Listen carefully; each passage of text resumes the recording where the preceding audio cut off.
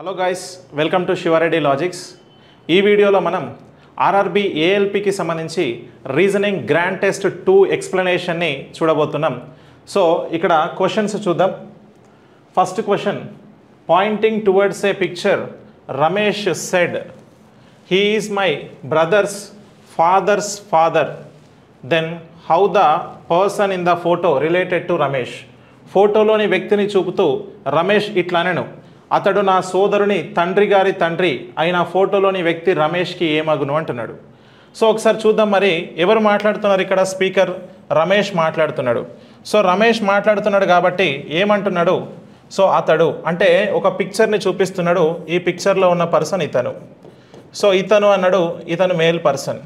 నా సోదరుని తండ్రి గారి తండ్రి అంటున్నాడు. ఓకేనా? రైట్. నా సోదరుని తండ్రి అంటే ఎవరు? ఫస్ట్ మా నాన్నగారు. నాన్నగారి తండ్రి అని అంటే తాతగారు. అంటే ఈ ఫోటోలో ఉన్నటువంటి వ్యక్తి రమేష్కి ఏమవుతాడు అని అంటే తాతగారు అవుతారు. ఓకే? సో ఎక్కడ ఉంది? సో గ్రాండ్ ఫాదర్ తాతయ్య. ఓకే? డన్. సో నెక్స్ట్ తర్వాత క్వశ్చన్కి వెళ్దాం. సో ఇక్కడ మనకి next a person is facing north? First he turns forty five degrees in clockwise direction. Then he turns ninety degrees in anticlockwise direction. And finally he turns one thirty five degrees clockwise direction now which direction he is facing అంటున్నాడు. ఉత్తర దిక్కు వైపు నడుస్తున్న ఒక వ్యక్తి మొదటగా సవ్య దిశలో ఫార్టీ ఫైవ్ డిగ్రీస్ తిరిగి ఆ తర్వాత అపసవ్య దిశలో తొంభై డిగ్రీలు తిరిగాడు.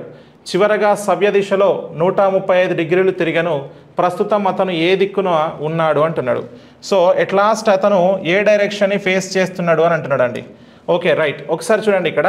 ఫస్ట్ సవ్య దిశ అపసవ్య దిశ అన్నాడు కాబట్టి డైరెక్షన్స్ వేసుకోకుండా డైరెక్ట్గా సో సవ్య దిశలో ఎంత దూరం తిరిగిండో చూద్దాం. సవ్య దిశలో ఫస్ట్ ఫార్టీ ఫైవ్ డిగ్రీస్ తర్వాత అపసవ్య దిశలో. సో అపసవ్యలో ఎంత తిరిగిండు అని అంటే అతను నైంటీ డిగ్రీస్ తిరిగాడు.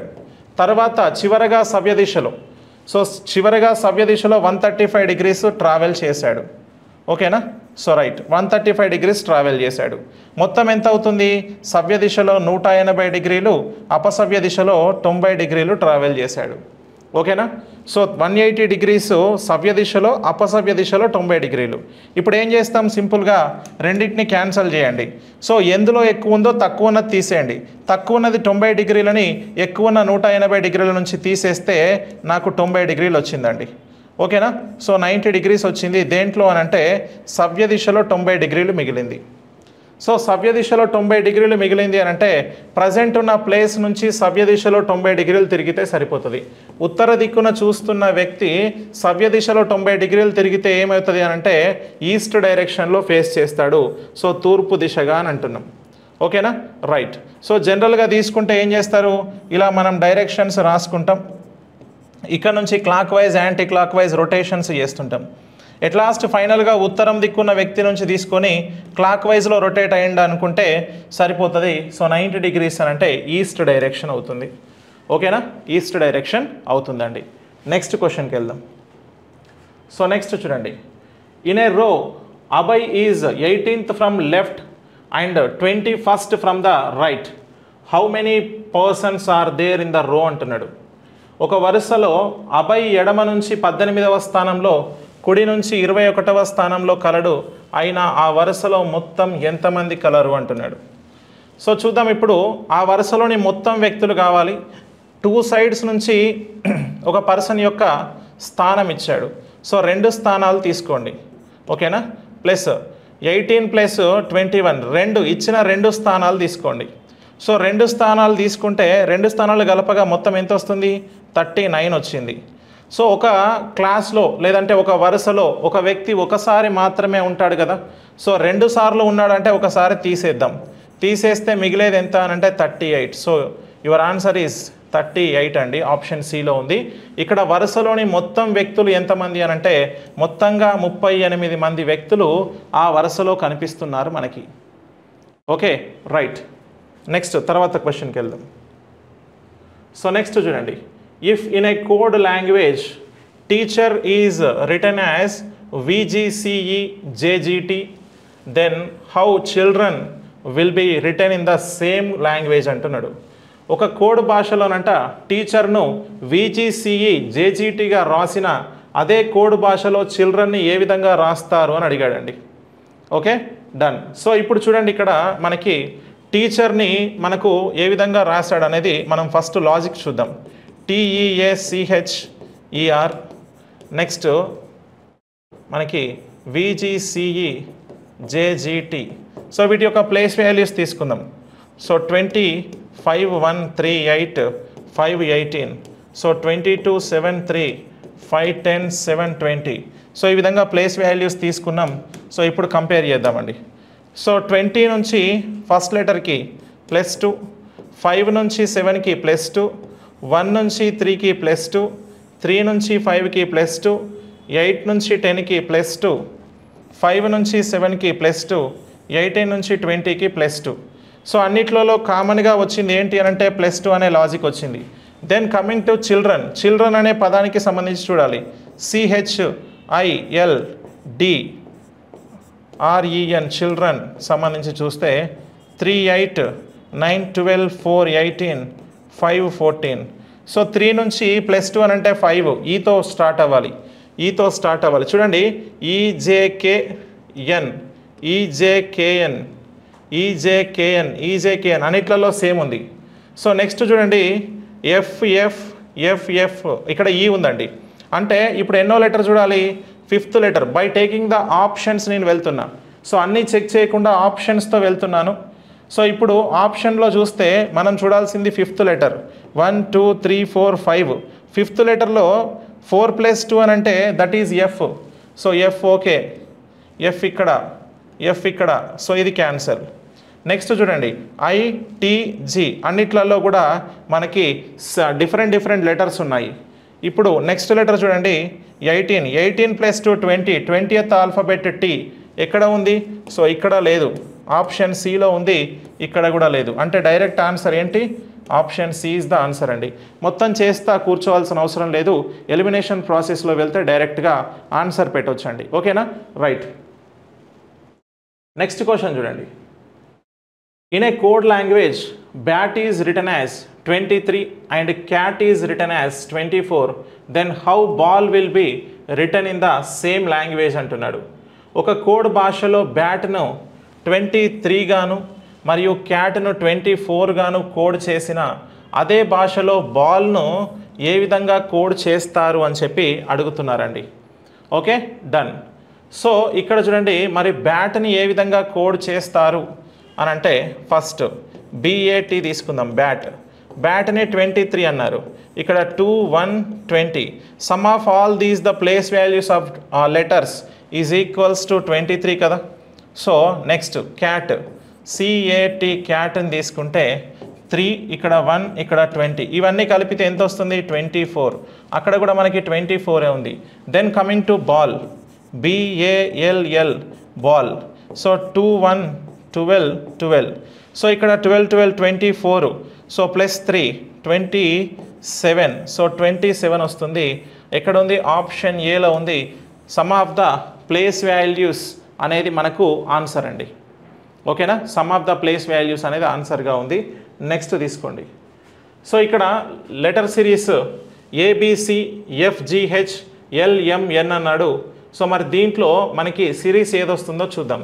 ఫస్ట్ లెటర్ తీసుకుంటాను నేను అన్నిట్లలో ఫస్ట్ లెటర్ ఈ సెట్లో ఫస్ట్ ఈ సెట్లో ఫస్ట్ ఈ సెట్లో ఫస్ట్ ఏ ఎఫ్ ఎల్ ఇక్కడ వన్ ఇక్కడ సిక్స్ అండి. సో ఇక్కడ ట్వెల్వ్ ఓకేనా? రైట్ సో ఈ రెండింటికి మధ్యలో లాజిక్ ఏంటి చూడండి? ప్లస్ ఫైవ్ ఉంది. ఇక్కడ ఎంత ఉంది? ప్లస్ సిక్స్ వచ్చింది. తర్వాత ఎంత రావాలి? ప్లస్ సెవెన్ రావాలి. ప్లస్ ఫైవ్ ప్లస్ సిక్స్ అంటే ప్లస్ సెవెన్ వచ్చింది. ట్వెల్వ్ ప్లస్ సెవెన్ అని అంటే that is nineteen nineteenth alphabet ఏంటి? ఎస్ ఎస్తో స్టార్ట్ అయ్యేటువంటి ఆప్షన్ ఒకటే ఉంది option C S T U ఓకేనా రైట్ సో ఈ విధంగా ఆన్సర్ చేస్తున్నాం. సో నెక్స్ట్ ఇంకొక పద్ధతిలో కూడా చేయొచ్చు. సికి ఎఫ్కి మధ్యలో ఉన్నటువంటి లెటర్స్ మిస్ అయిన ఎన్ని చూసుకోండి. సి తర్వాత డిఈ e. సో రెండు లెటర్లు మిస్ అయినాయి ఈతో e స్టార్ట్ అయింది. తర్వాత హెచ్ తర్వాత ఐ జే కే మూడు లెటర్లు మిస్ అయినాయి ఎల్తో స్టార్ట్ అయింది. అంటే నెక్స్ట్ నాలుగు లెటర్లు మిస్ అవ్వాలి. ఎన్ తర్వాత ఓ పి క్యూ ఆర్ నాలుగు లెటర్లు మిస్ అయితే ఎస్తో స్టార్ట్ అవుతుంది. సో ఎస్తో స్టార్ట్ అవ్వాలి. కాబట్టి option C is the correct answer అండి. ఓకేనా? రైట్. నెక్స్ట్ క్వశ్చన్కి వెళ్దాం. ఇక్కడ నెక్స్ట్ మనకి రిపీటెడ్ లెటర్ సిరీస్ ఉంది. సో ఈ రిపీటెడ్ లెటర్ సిరీస్ ఒకసారి తీసుకుందాం. ఇక్కడ A dash C dash AB dash D dash BC dash ace dash CD ఓకేనా? సో ఇది లేదు ఇక్కడ. ఇక్కడతో మనకి డి ఇవే ఉన్నాయండి. సో ఒకసారి చూడండి దీంట్లో లాజిక్ ఏమవుతుంది? డైరెక్ట్ మనము సెలెక్ట్ చేయొచ్చు కదా? డైరెక్ట్ అంటే దీన్ని మళ్ళీ కౌంట్ చేసి కారణాంకాలుగా విడగొట్టుకోకుండా డైరెక్ట్గా కూడా మనం చేయొచ్చా? చూడండి ఇక్కడ ఏతో స్టార్ట్ అయింది ఇక్కడ ఏ ఉంది. అంటే నేను ఇక్కడికి కట్ చేస్తున్నా. ఓకేనా? రైట్ సో నెక్స్ట్ చూడండి. ఇక్కడ ఏతో స్టార్ట్ అయింది ఇక్కడికి కట్ చేస్తున్నా.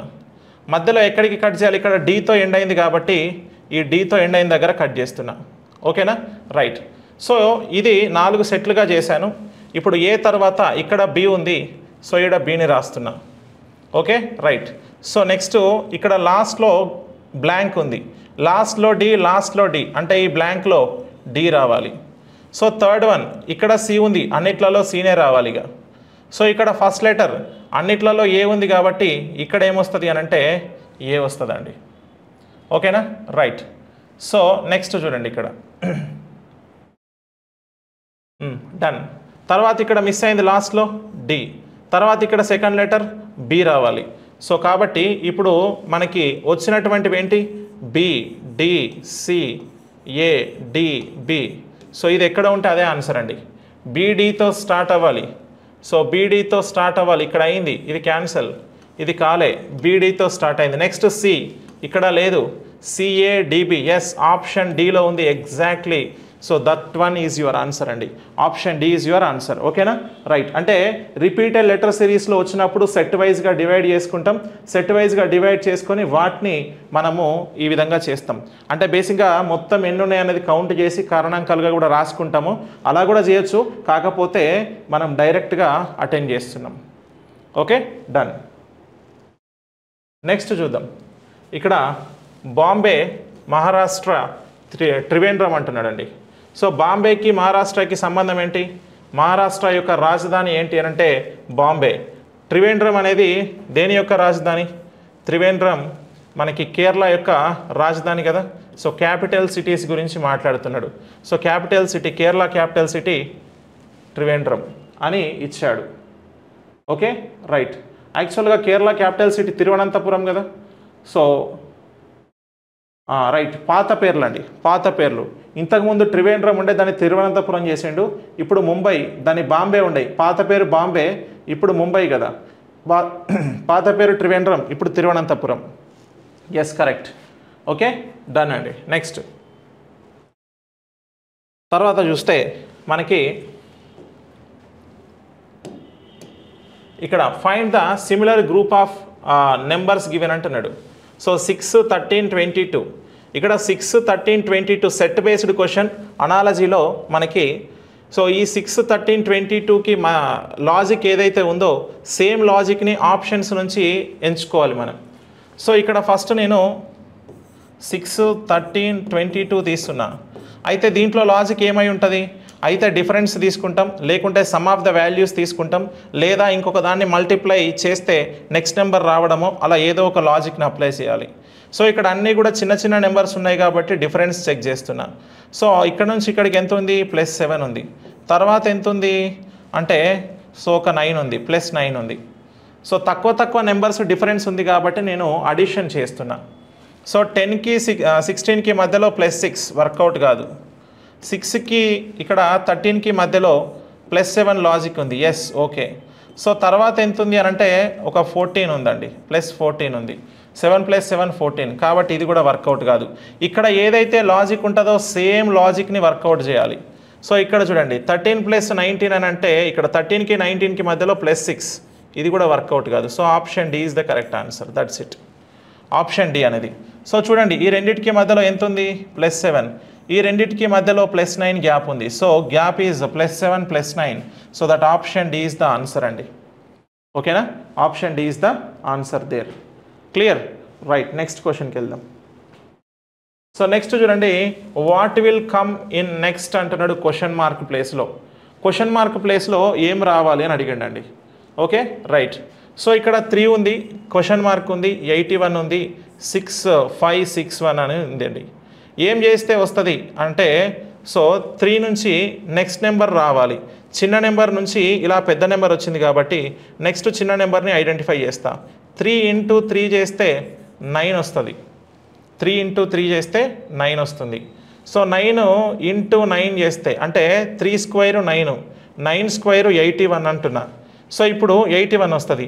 మరి ఎయిటీ వన్ స్క్వైర్ చేస్తే నెక్స్ట్ నెంబర్ వస్తుంది. అంటే eighty one into eighty one చేస్తే six thousand five hundred and sixty one వస్తుందండి. ఓకేనా? ఇలా చేయాలి. అలా కాకుండా నెక్స్ట్ పద్ధతి కూడా చూడండి. త్రీకి three power four eighty one nine power four six thousand so five hundred and sixty one అది కూడా వస్తుంది. అంటే రెండు పద్ధతుల్లో చేయొచ్చు. ఓకేనా? సో ఇలా కాంబినేషన్లో చేసుకుంటా వెళ్తున్నాం.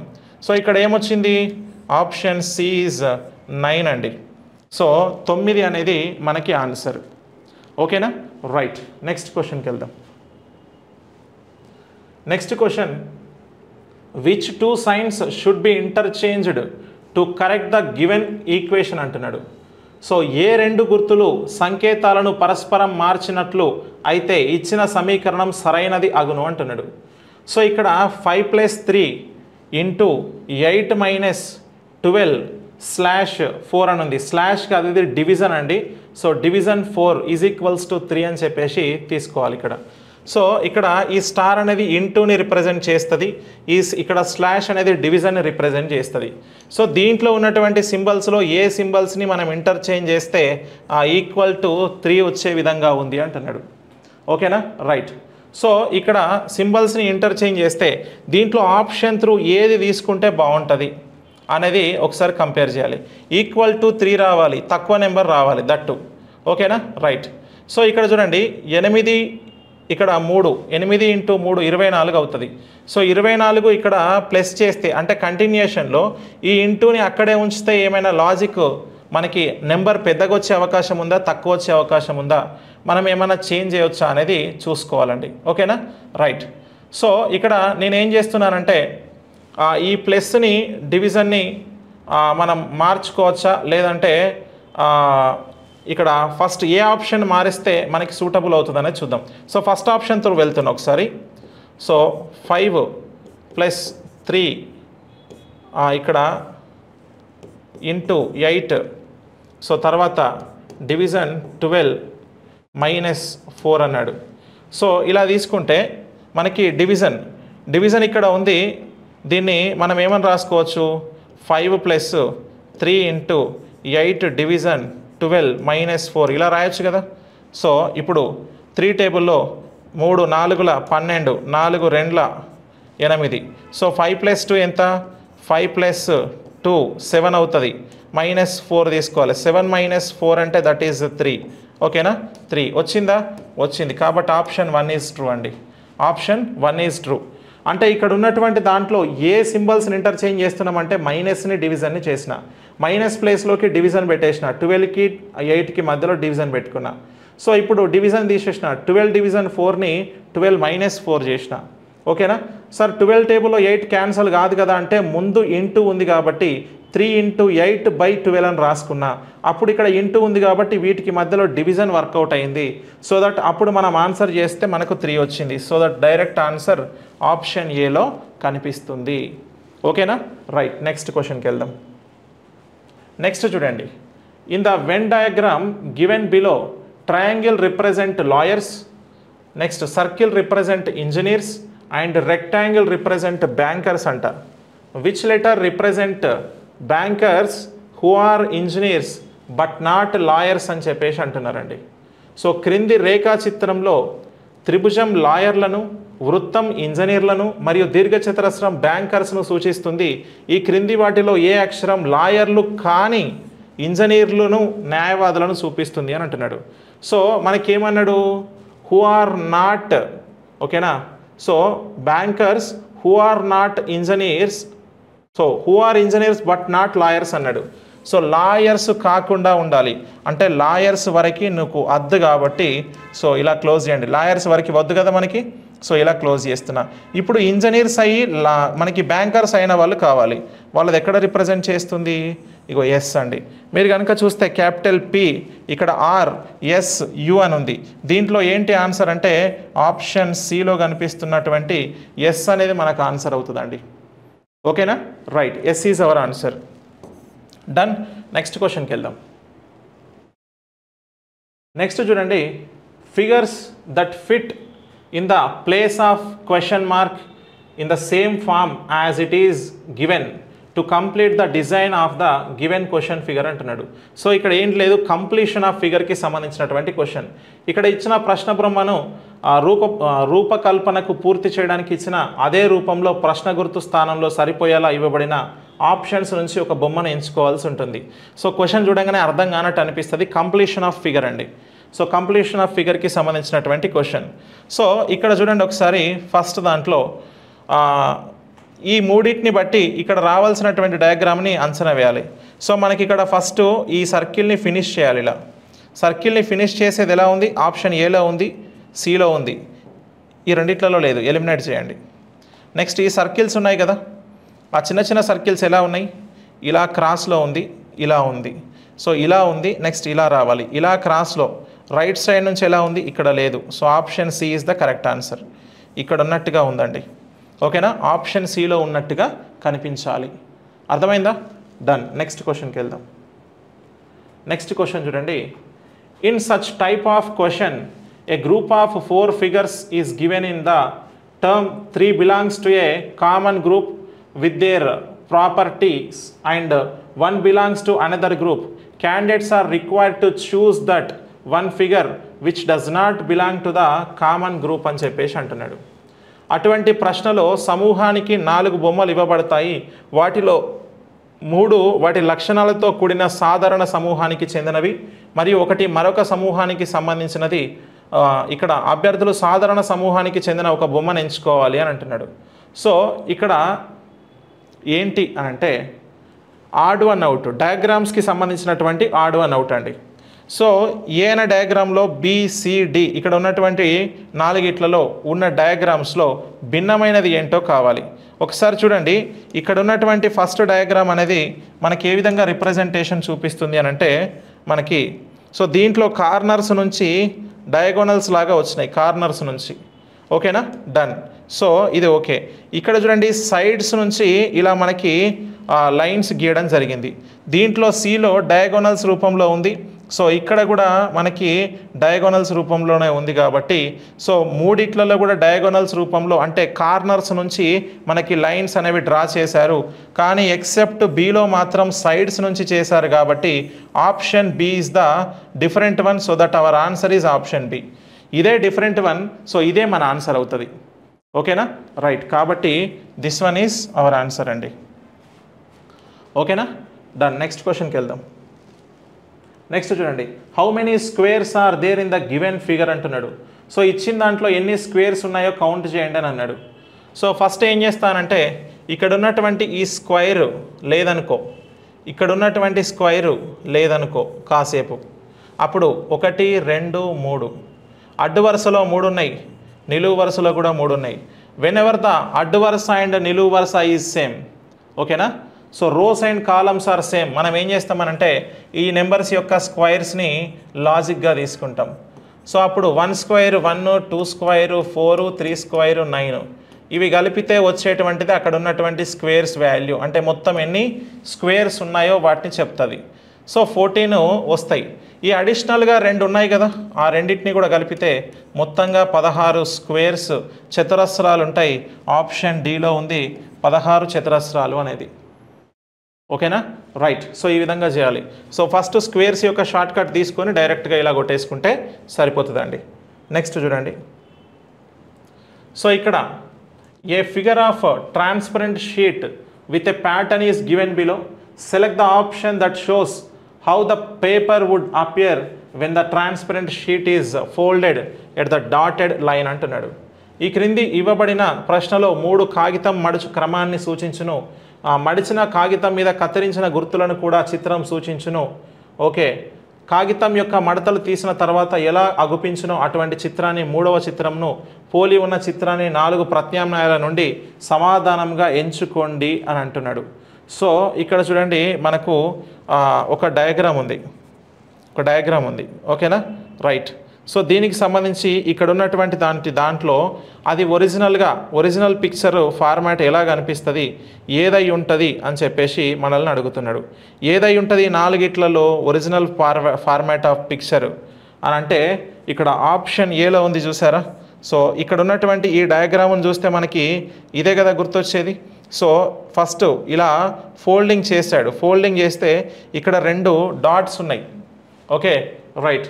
So transparent sheet folded at the dotted line అని చెప్పేసి అంటున్నాడు.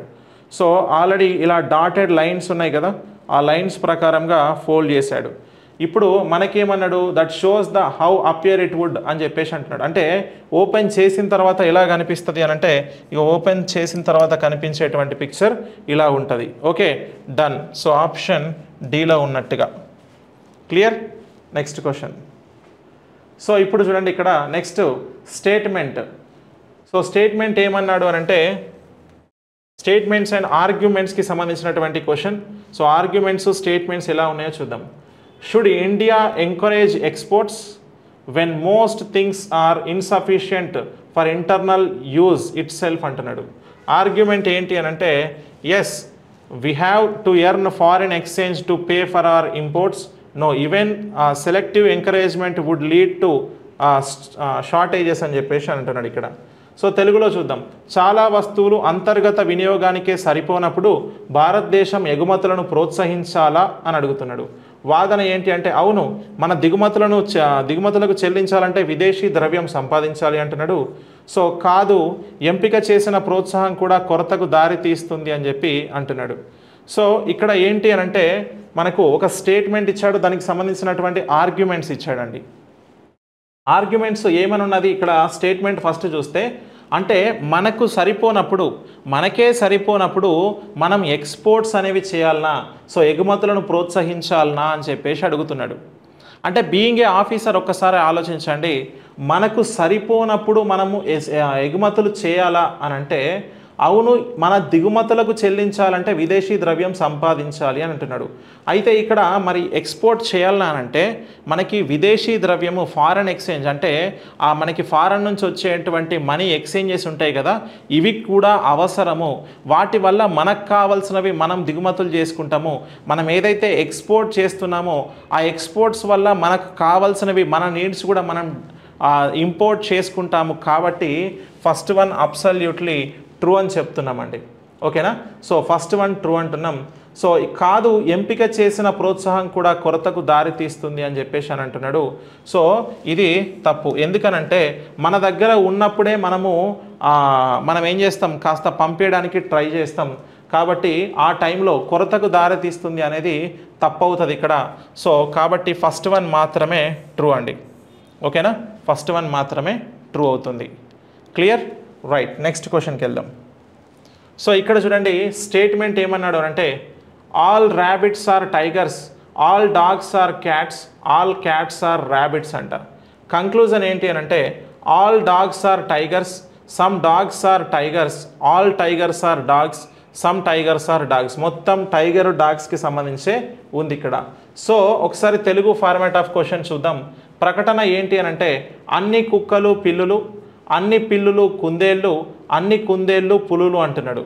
సో నవ్వు కంక్లూజన్స్ ఏంటి అని అంటే అన్ని కుక్కలు పులులు అట కొన్ని కుక్కలు పులులు అన్నాడు అన్ని పులులు కుక్కలు అన్నాడు కొన్ని పులులు కుక్కలు అంట. సో దీంట్లో ఇప్పుడు ఉన్నటువంటి దాంట్లో మనకి లాజిక్ ఏమవుతుందో ఒకసారి ఐడెంటిఫై చేద్దాం మనం. సో ఏంటి అని అంటే సో డయాగ్రామ్ డ్రా చేస్తే all rabbits all rabbits tigers all rabbits tigers all dogs are cats అంటున్నాడు. ఓకేనా డాగ్స్ అన్నీ కూడా క్యాట్స్ అంట. నెక్స్ట్ క్యాట్స్ అన్నీ కూడా ర్యాబిట్స్ అంటే ర్యాబిట్స్ లోపలనే డ్రా చేస్తున్నారు అన్నిటిని. కాబట్టి ర్యాబిట్స్ని కాస్త పెద్దగా డ్రా చేద్దాం ఫస్టే సో ఇది ర్యాబిట్స్ ర్యాబిట్స్ అన్నీ కూడా టైగర్స్ అయినాయి. Next all dogs are cats క్యాట్స్కి సంబంధం లేదు కాబట్టి all cats are rabbits cats అన్నీ కూడా సో ఇప్పుడు డ్రా డ్రా చేస్తున్న క్యాట్స్ అన్నీ కూడా ర్యాబిట్స్ అయినాయి. సో ఇవి cats all dogs are cats అన్నాడు కాబట్టి ఇప్పుడు క్యాట్స్ లోపల డ్రా చేయాలి. ఏంటి? డాగ్స్ని డైరెక్ట్గా ఇవ్వలేదు ఇండైరెక్ట్గా ఇచ్చాడు. అంటే సీరియల్ ఆర్డర్లో ఇవ్వకుండా రివర్స్లో ఇచ్చాడు. ఓకే డన్ ఇప్పుడు కంక్లూజన్ చెక్ చేద్దాం. ఆల్ డాగ్స్ ఆర్ టైగర్స్ అంట. మరి డాగ్స్ అన్ని టైగర్స్ అవుతాయా? ఎస్ సో చూడండి ఈ షేడెడ్ పార్ట్ మొత్తము డాగ్స్ అనేవి టైగర్స్ అవుతున్నాయి. కరెక్టే so first one is true all dogs are tigers అనేది ట్రూ అండి. సమ్ డాగ్స్ ఆర్ టైగర్స్ అంటున్నాడు. ఈ మొత్తం డాగ్స్ అనేవి టైగర్స్ అవుతున్నప్పుడు దీంట్లో ఈ కొంత డాగ్స్ కూడా అవుతుంది కదా? సో కాబట్టి సెకండ్ వన్ కూడా కరెక్టే అండి. మొత్తం అయినప్పుడు దాంట్లో కొంచెం కూడా అవుతుంది. ఆల్ టైగర్స్ ఆర్ డాగ్స్ అట. ఈ టైగర్స్ అన్ని డాగ్స్ అవుతున్నాయా? కావు. టైగర్స్ లోపల డాగ్స్ని డ్రా చేశాడు కాబట్టి wrong. Some tigers are dogs అవుతుందా? ఎస్ అబ్సల్యూట్లీ ఈ మొత్తం టైగర్స్లో ఈ కొంత పార్ట్ అనేది డాగ్స్ అయ్యింది కాబట్టి సమ్ టైగర్స్ ఆర్ డాగ్స్ అనేది ఆబ్వియస్లీ ట్రూ అవుతుంది. ఓకేనా? సో ఖచ్చితంగా ట్రూ అండి. ఓకే? డన్. ఆప్షన్స్ ఏంటి అని అంటే so one two four follow అయింది. సో ఇక్కడ చూడండి option one two and four follows అండి. ఓకేనా? Option one two four follows అవుతుంది. సో కాబట్టి ఆప్షన్ బిని కరెక్ట్ ఆన్సర్గా తీసుకుంటాం. క్లియరా రైట్ నెక్స్ట్ క్వశ్చన్కి వెళ్దాం. నెక్స్ట్ క్వశ్చన్ సో ఇక్కడ చూడండి నెక్స్ట్ క్వశ్చన్లో today on fourth August it is Tuesday what day will be on the twenty sixth of this month అని చెప్పేసి అంటున్నాడు. సో ఇక్కడ ఇక్కడ చూడండి ఆగస్టు నెల నాలుగవ రోజు మంగళవారం అయితే అదే నెలలోని ఇరవై ఆరవ రోజు ఏ వారం అవుతుంది అని అన్నాడండి. సో ఇక్కడ ఒకసారి చూద్దాం మరి. ఇక్కడ ఆగస్టు నెల ఫోర్త్ అంటే ఫోర్త్ రోజు మనకి ట్యూస్డే అయింది. ఫోర్త్ రోజు ట్యూస్డే. మళ్ళీ ట్యూస్డే వచ్చేంత వరకు నేను చెక్ చేస్తాను లేదనంటే ఒక మాట చూడండి. ఫోర్త్ రోజు మంగళవారం కదా? ఇరవై ఆరవ రోజు అడిగిండు. అంటే ఇరవై ఆరు రోజుల నుంచి ఫస్ట్ నాలుగు తీసేయండి. నాలుగు అయిపోయింది కదా. ఇరవై ఆరులో నుంచి నాలుగు తీసేస్తే మిగిలింది ట్వంటీ టూ. ట్వంటీ టూని ఏడుతోని భాగించండి. ఏడు మూడులో ఇరవై ఒకటి. సో ఒకటి మిగిలింది. ఆల్రెడీ ఫోర్త్ రోజు మంగళవారం అయింది. నెక్స్ట్ ఇంకొక రోజు మిగిలింది. అంటే నెక్స్ట్ డే ఏమవుతుంది వెనస్డే. సో కాబట్టి వెనస్డే ఇస్ ద ఆన్సర్ బుధవారం అని అంటాం. ఓకేనా? సో అంటే ఇరవై ఆరు రోజుల నుంచి నాలుగు రోజులు తీసేస్తే ఇరవై రెండు రోజులు మిగులుతాయి. ఇరవై రెండుని పద ఏడుతోని మనం క్యాన్సిల్ చేస్తున్నాం.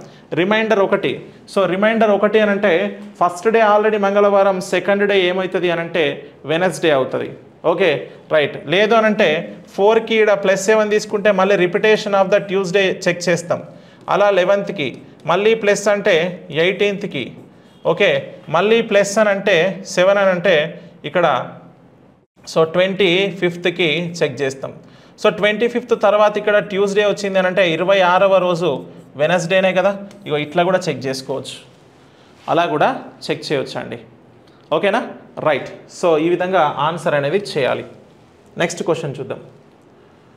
ఇక్కడ arrange the following words in the order in which they appear in the and English dictionary అంటున్నాడు. కింది పదాలను ఆంగ్ల నిఘంటువులో కనిపించే క్రమంలో అమర్చండి అన్నాడు.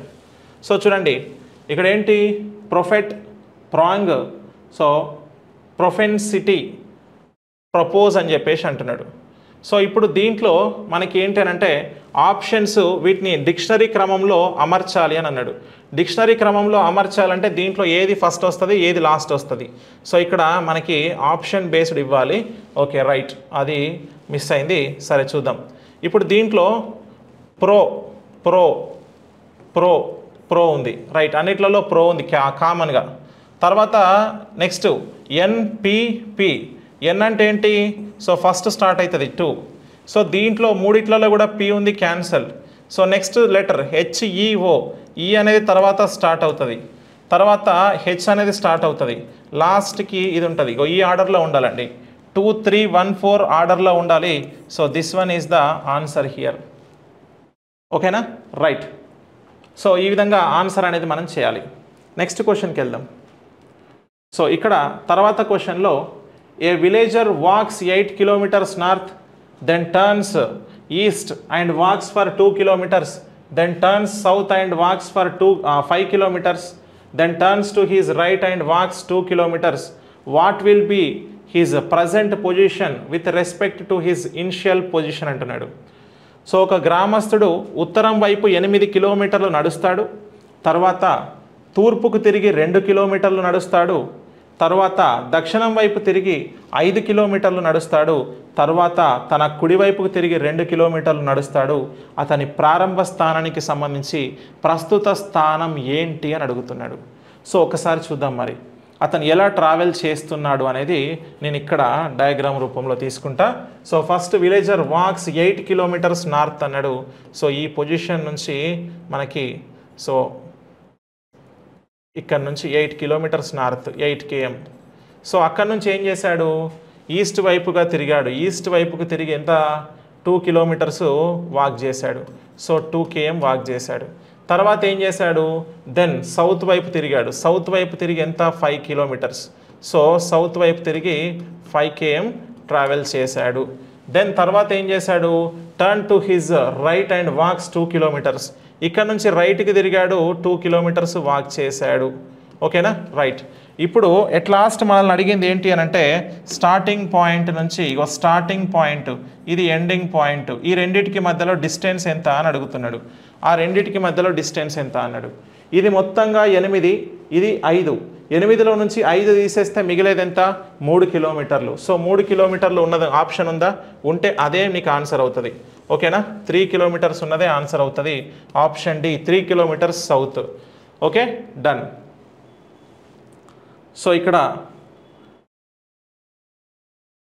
ఏమన్నాడు? What will be his position his present position with respect to initial position right initial position నుంచి చూస్తే ప్రజెంట్ పొజిషన్ సౌత్లో మూడు కిలోమీటర్ల దూరంలో ఉంది correct so option D is the answer అండి. డైరెక్ట్ ఎలిమినేషన్ చేసుకొని ఆన్సర్ చేయాలి. డన్ నెక్స్ట్ క్వశ్చన్కి వెళ్దాం. తర్వాత so next blood relation question ఉంది. A B are brothers B's mother is C A's daughter is D D's sister is E then how E how E is related to C అన్నాడు. Next ఒకసారి ఇక్కడ చూద్దాం మనం. ఏ బీలు సోదరులు B యొక్క తల్లి C ఏ యొక్క కూతురు డి డి యొక్క సోదరి ఈ అయినా సీనకు ఈ ఏమగును అంటున్నాడు.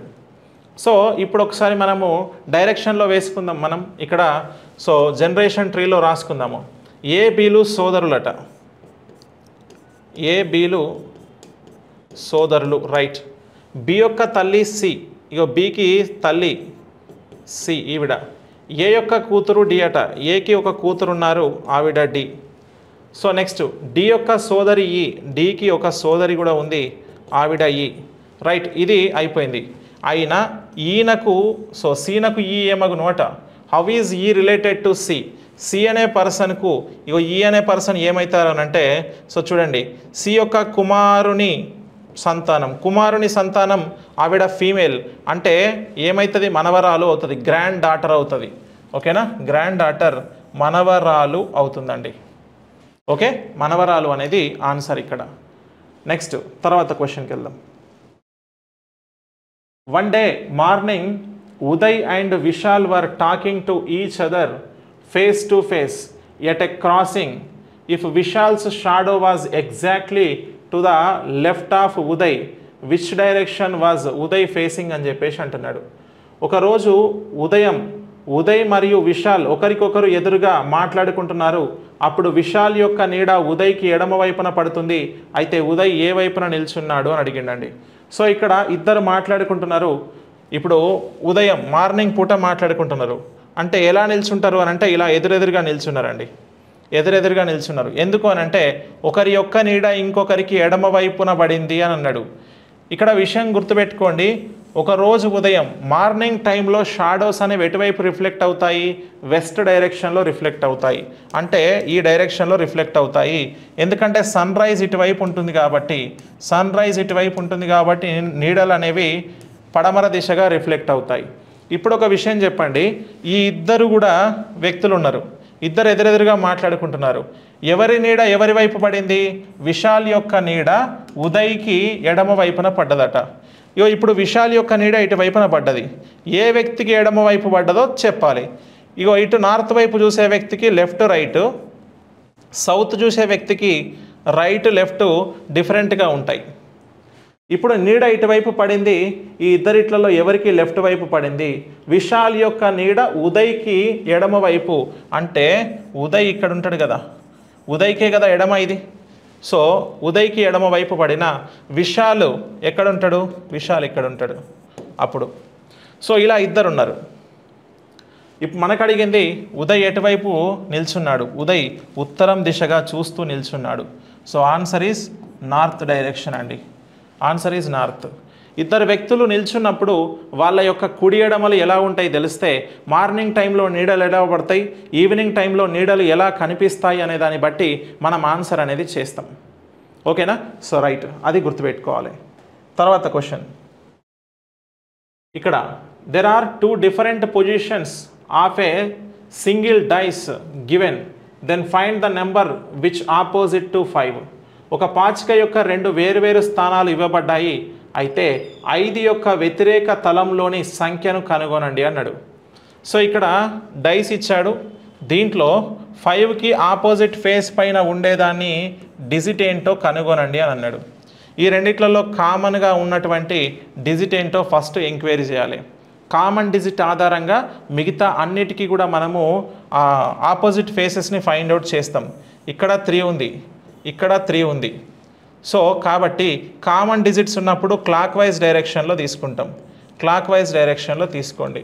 ఓకేనా రైట్ ఇప్పుడు నేను ఏం చేస్తానంటే త్రీ నుంచి క్లాక్ వైజ్ ఫస్ట్ స్టెప్ ఏంటి? టూ త్రీ నుంచి క్లాక్ వైజ్ ఫస్ట్ స్టెప్ ఏంటి ఫోర్ త్రీ ఇక్కడ తర్వాత సెకండ్ స్టెప్లో ఫైవ్ ఇక్కడ సెకండ్ స్టెప్లో సిక్స్ అంటే five is opposite to six five is opposite to six ఇవి రెండు ఎదురెదురుగా ఉన్నాయని చెప్తాం. అప్పుడు ఆప్షన్ డీలో ఉన్నది సిక్స్ రెడీ. మనకి ఆన్సర్ అవుతుంది. మనం బేసిక్ ఏం చేస్తాం? త్రీ కామన్గా అంటే త్రీ టు ఫైవ్ అని రాస్తాం. మళ్ళీ అక్కడ త్రీ ఫోర్ సిక్స్ అని రాస్తాం. ఇదే. దీన్నే డైరెక్ట్గా ఎట్లా చేయాలి? ఇదంతా రాయకుండా. సో వాటిని చూసి ఆన్సర్ పెట్టడం కోసం చెప్పడం జరిగిందండి. ఓకేనా? రైట్ నెక్స్ట్ క్వశ్చన్కి వెళ్దాం నెక్స్ట్ ఏమన్నాడంటే if red is called yellow yellow is called blue blue is called orange orange is called green and green is called red then what is the colour of clear sky అంటున్నాడు. So ఒక రహస్య భాషలో ఎరుపుని పసుపుగాను పసుపుని నీలంగాను నీలమును నారింజగాను నారింజను ఆకుపచ్చగాను ఆకుపచ్చను ఎరుపుగాను code చేసిన నిర్మలమైన ఆకాశం రంగు ఏమిటి అంటున్నాడు. సో ఆకాశం యొక్క రంగు ఏమిటి అన్నాడు. ఇక్కడ దీన్ని సబ్స్టిట్యూషన్ మోడల్ అని అంటాం. సో ఆకాశం యొక్క రంగు ఒరిజినల్గా ఏ కలర్లో ఉంటుంది? బ్లూ కలర్లో ఉంటుంది నీలం రంగులో. కానీ ఇక్కడ నీలంని ఏమని కోడ్ చేశాడు? అంటే ఒక పర్టికులర్ కోడ్లో అలా మాట్లాడుకున్నాడు అన్నట్టు. సో మరి బ్లూని ఏమని కోడ్ చేశాడు చూడండి. ఒరిజినల్గా ఆకాశం రంగు బ్లూ కాకపోతే నీలమును నారింజం అని code చేసిండండి. So blue is called as orange. So blue is called orange అన్నాడు కాబట్టి ఇప్పుడు నీకు ఆకాశం ఏ రంగులో ఉంటుందంటే ఏం చెప్పాలి? ఆరెంజ్ కలర్ అని చెప్పాలి. ఆరెంజ్ కలర్ అని చెప్తాం. So option B is the correct answer ఎందుకంటే ఒరిజినల్గా బ్లూ కలరే కాకపోతే ఈయన కోడ్ చేశాడు కోడ్ చేశాడు కాబట్టి సో ఈ విధంగా నారింజ అని చెప్పి తీసుకున్నాం. క్లియర్ రైట్ అండి. సో ఇవి మనకు సో ఏఎల్పి మోడల్ టెస్ట్ అంటే ఏఎల్పి గ్రాండ్ టెస్ట్ టూకి సంబంధించిన reasoning questions explanation so thank you అండి